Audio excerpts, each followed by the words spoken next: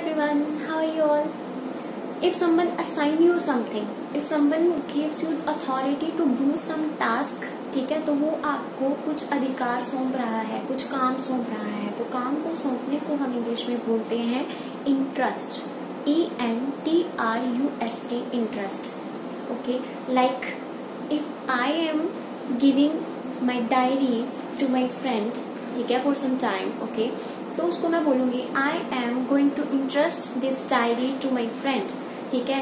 Now this is his responsibility to take care of my diary okay so in this way you can use entrust means सौंपना। ठीक है? किसी को कुछ सौंपना, कुछ काम, कुछ अधिकार सोचना that you are assuming that he is capable to take care of something और he is capable to do that task okay for example your boss is assigning you with new responsibilities, okay? Your boss is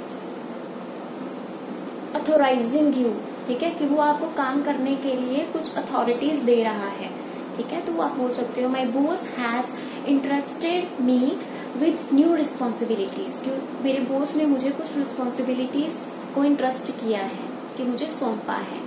इसके अलावा आप ऐसे भी बोल सकते हो कि मैं अपनी सेविंग्स को अपनी फ्रेंड को इंटरेस्ट नहीं करूँगी. I am not going to entrust my savings to my friend ठीक है?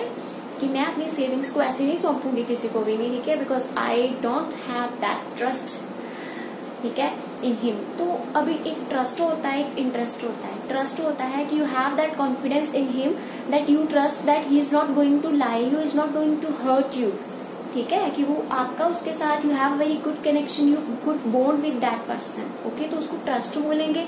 But when it comes to entrust entrust means you are assigning something you are giving authority you are making someone responsible to do something okay आप किसी person को responsible बना रहे हो किसी काम को करने के लिए, ठीक है?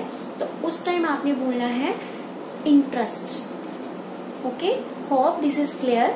Now you can make sentences with word interest. Okay so we'll see you in the next video. Till then bye bye take care. If you are new to my channel don't forget to subscribe.